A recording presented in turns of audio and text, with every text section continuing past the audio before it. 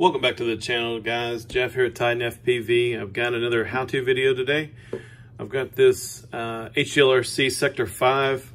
It's a 4S quad and I got a 6S pack. We're gonna see if we can run this and not burn the motors up. So these are the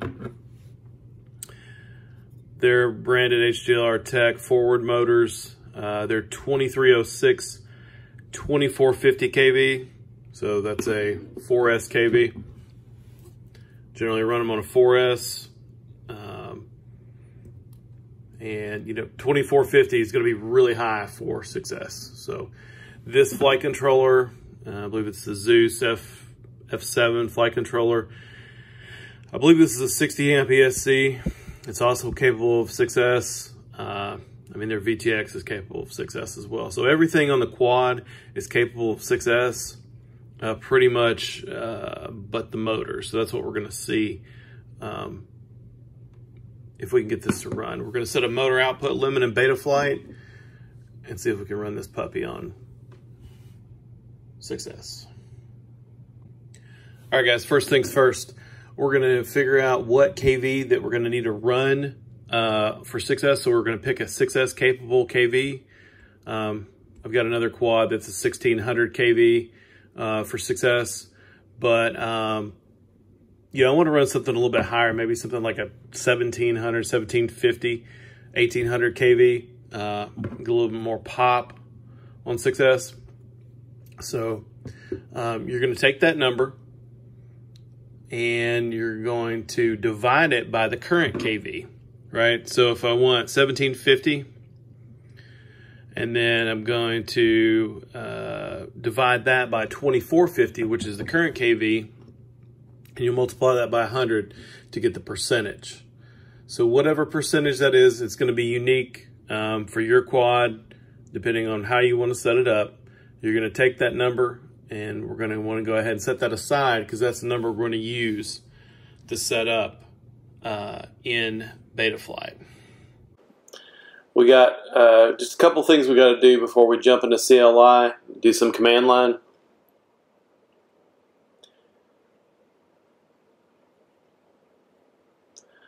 We're going to jump into the PID tuning tab. You want to see, uh, make sure select profile number one make sure all your PIDs are set correctly. I mean, I'm just using the stock PIDs on the sector, so no adjustments are needed. I'm going to copy these profile values over to profile 2. And I'm also going to copy them over to profile 3. Alright, and then we're going to hit save so that assures that the same values are set up on all three profiles.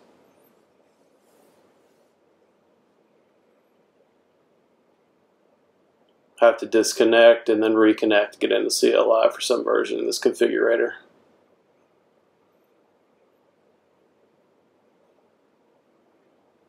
All right, let's jump into CLI. All right, we're going to select our profile here, guys. The thing about profiles is you're just going to subtract one from the profile, and that's going to be the actual profile. So we're doing profile one, it's actually profile zero. Type in profile zero. That's got profile one selected. We're going to set the auto profile cell count to 4.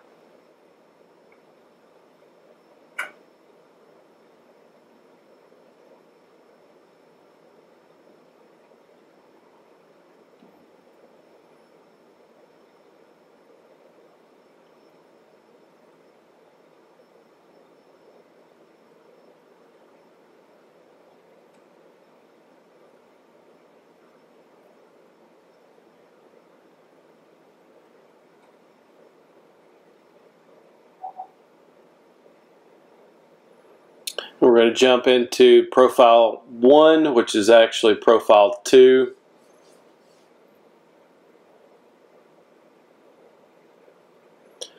We're going to set the auto profile cell count to 6. This is going to be where the motor output limit is going to come into play.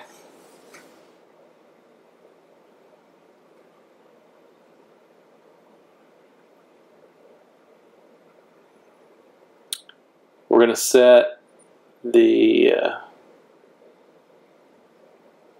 motor output limit to whatever number. This is the number that you uh, set aside that you calculated earlier. In this case, mine's going to be 75. So be running 75% of the KV on the 4S motors on 6S.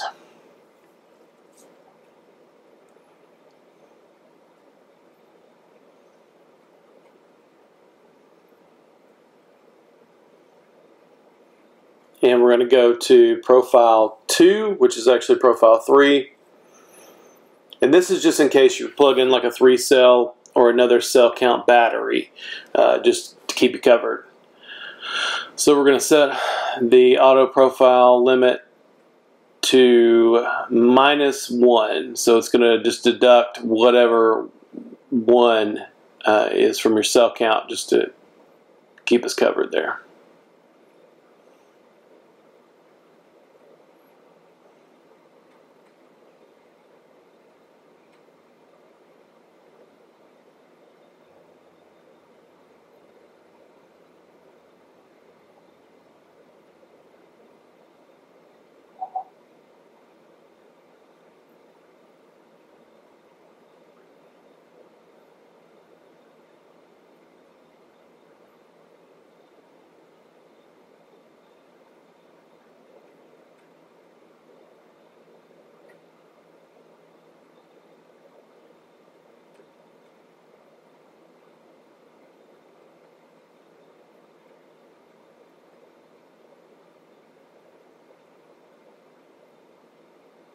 go ahead and hit save.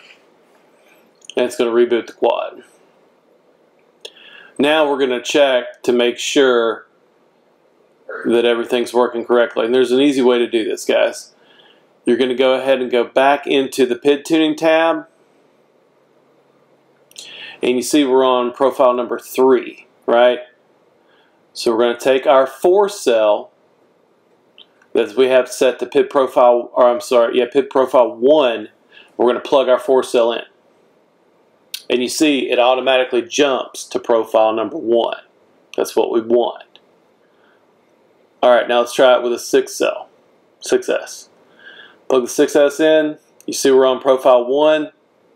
Watch guys, it's magic. Bam, jumps to profile two. I don't have a three cell, we can test that otherwise, but looks like everything is working correctly.